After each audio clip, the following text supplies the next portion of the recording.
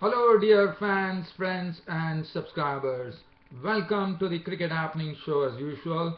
And in this Cricket Happening Show, I'm going to preview the fourth test match of the Ashes Investec Test Series which is coming up tomorrow, going to be played at Trent Bridge in Nottingham. Now, uh, we know that um, Australia suffered a very, very severe humiliation when the match was, uh, they lost the match inside three days and now the pressure definitely is on Australia to prove a point here. Uh, I mean, this series has been going on, it has been a real seesaw battle. The first one uh, was um, won by Australia. England came, uh, sorry, the first one was won by um, uh, by by, Aust um, by England. Uh, Australia went and defeated them in the second test. Uh, the third test, um, well, it went England's way with some severe humiliation, and now England leading the series 2-1. And uh, I mean, uh, you can't get a test series more interesting than this. England, with their style of play now, has really made um, uh, the cricket very interesting and entertaining, especially Test cricket, because uh, what, what they are doing is that uh, with the with the resources at their disposal, they are able to produce results. And Test matches, if you see against New Zealand, also it produced results, and that was also a very very tight contest. And once again, we are seeing against the arch rivals Australia, England are once again showing uh, that um, what what they are capable of. So the fourth test is uh, some, something where the, the, concentration will be on Australia because Australia will be thinking that uh, they would um, probably go and win the fourth test match. Now for Australia, let's have a look at the team uh, and see uh, what exactly is going on. Now for Australia, well, uh, good, the good thing is that we have seen that both David Warner and Chris Rogers have been in some good form. Even though they lost the match, one thought that David Warner and Chris Rogers uh, still did a good job for them uh, in the third test match. Uh, now, uh, the uh, Steven Smith, Michael Clarke, um, both, both of them failed. And Michael Clarke is definitely going through a horror of form here. He has not been able to really get his batting into the groove and that is what one is expecting now from him. And I think Michael Clarke as a captain will be also under pressure because after the decision that he took in the third test which cost Australia a lot. So Michael Clarke would definitely, definitely be under severe pressure when he walks in uh, at uh, Nottingham in Trent Bridge. Now Steven Smith, uh, well, uh, he is another player, he's one of those great players now, he's already uh, formed uh, sort of an impression, a great impression. He has made a great impression as far as Australian cricket is concerned. So Steven Smith uh, has to, uh, one knows that he is not a person who is going to fail again and again. And I'm sure Steven Smith, we are going to see some very good innings from Steven Smith now uh, in the uh, fourth test match here at Trent Bridge in Nottingham. Uh, Shaun Marsh and Mitchell Marsh. Uh, now Shaun Marsh, whether he is going to play, that is going to be interesting. Now Adam Woods, after doing very well against West Indies, unfortunately, I would have to say that he has um, found that playing against England uh, is not so easy as playing against West Indies uh, with the uh, with the quality of the bowling attack much superior than the West Indies. Now Shaun Marsh will get his chance uh, whether he can grab it. He did it against India, as you remember, the only chance he got, he went and scored a century. So Shaun Marsh is also his brother Mitchell Marsh, who has already proved that he would be a household name in Australian cricket uh, with his um, very, very specific all-round skills that he has. Peter Nevill, the wicketkeeper, has made that place his own. Uh, he also impressed in the previous match. In fact, uh, uh, he also got a 50 under his belt, and he was the one uh, who really gave uh, Australia something to bowl at England when when they had to chase a total of 120 yards. So Peter Nevill is looking in good nick here. Now the bowling, the bowling is something where Mitchell Johnson has to really tear in. He has already hinted that he's going to bowl with more hostility than before, and that is sounding like a a real warning sign to the England uh, saying that uh, you watch out uh, dear England batsman Mitchell Johnson will be at you and the way he actually uh, priced out uh, Ben Stokes the other day and Jonathan Bairstow was a real I think it was Jonathan Bairstow Joe Buttler, I think it was uh, if I'm not wrong it was Jonny Bairstow and Ben Stokes who he priced out early in the morning with the first over with the cherry where he really bowled some some deliveries which really took off uh, and uh, they were really uh, both the batsmen were really stuck Mitchell Starc has not really come into his own in this particular series. Whether this would be the test match where Mitchell Starc would like to really get into some uh, full gear here. Now Josh Hazlewood has been performing uh, in an admirable manner. Uh, he has been uh, bowling well to the batsmen. He has been picking up the wickets. So he is doing a, a very nice job. Uh, Nathan Ryder at off spinner has also done a decent job, one could say, but he has, has been taken for runs by the English batsmen. so uh, that is something we are uh, looking at. So Australia are the ones who are who are the ones who have to really do the hard work, and they would be under intense pressure. There's no doubt about it. Now Trent Bridge, if you look at it, um, um, when India played against England, uh, it was a very slow surface and uh, it was not um, it was not really really helping uh, the bowlers, I would say. Uh, but one thing now, as far as um, England are concerned, England first and foremost, I would be starting off by saying uh, that they are missing James Anderson for sure because James Anderson, um, the happy hunting ground has been Trent Bridge in Nottingham where he has picked up 53 wickets uh, in a span of 8 tests.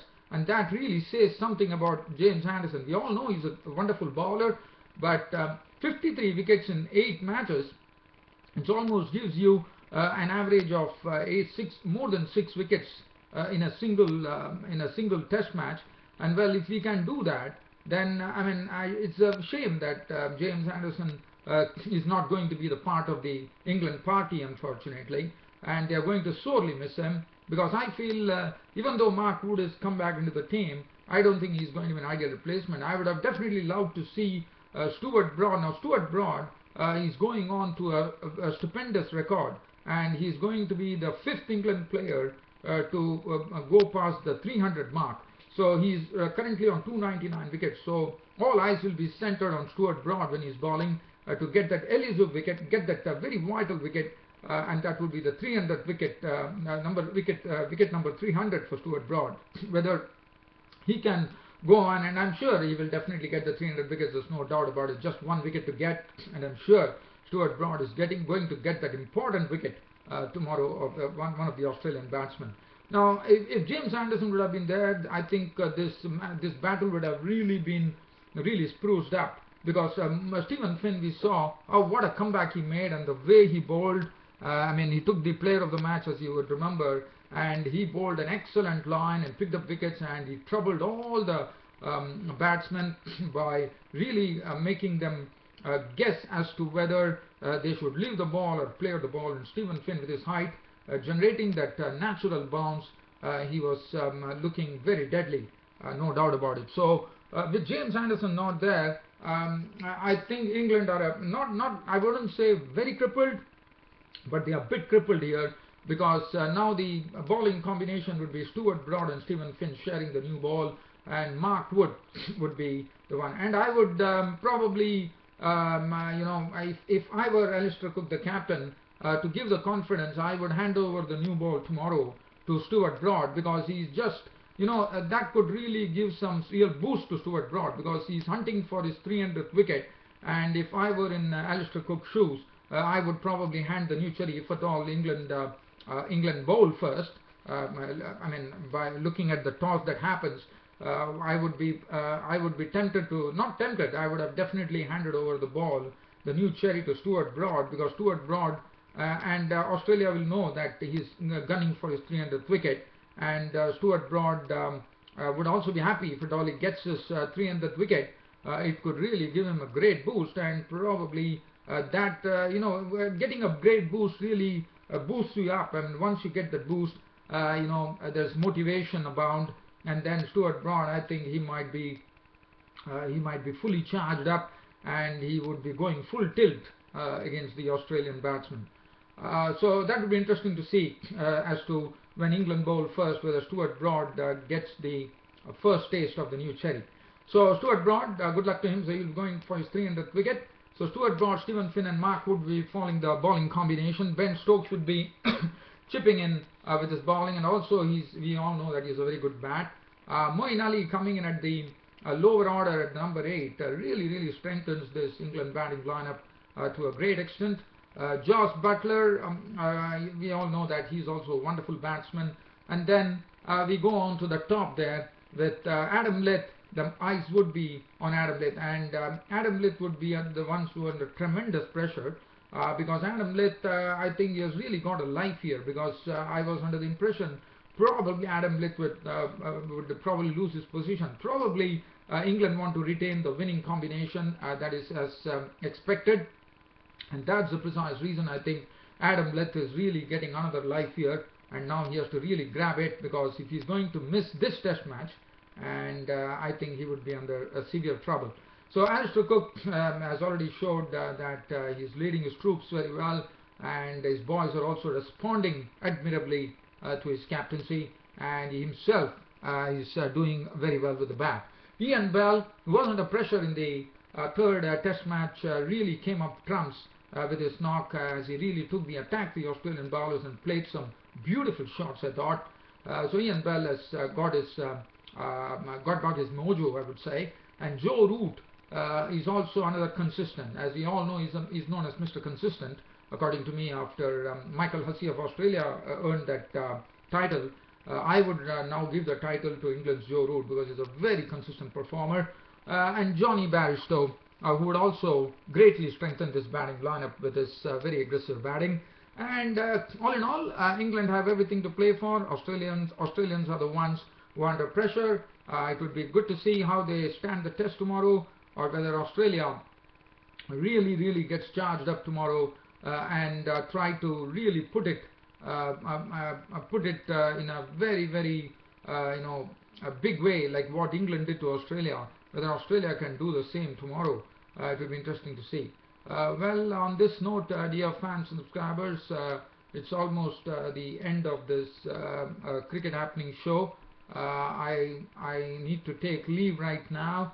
Uh, but promising you that uh, I'll be there with the uh, probably not the full day's report it all depends on the time so I will definitely give you um, at least um, I can give you the report till the tea time as to what happened at Trent Bridge in Nottingham I only hope that tomorrow England win the toss uh, and England England um, decide to bowl first. Trent Bridge normally really give some assistance to the bowlers in the initial part, so I would probably uh, would be loving to see Stuart Broad with the new cherry running in past the umpire and hurling the first over, hurling the ball in the first over uh, to just give that a bit of a boost to Stuart Broad to get to his uh, very very coveted mark.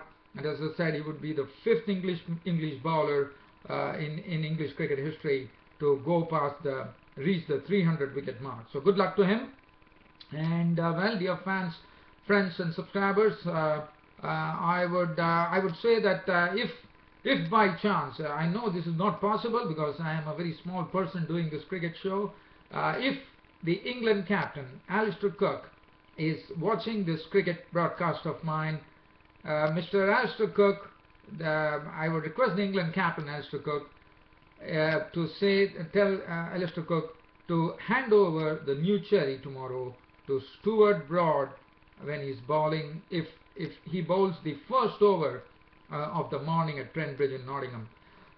Well, dear fans and subscribers, on this very note, this cricket happening show of your host Ram is about to end today, but as I said, promising you that your cricket happening show will be up tomorrow. Uh, till then, I will uh, till till such time that I come up on the cricket happening show tomorrow. It's goodbye. Thank you.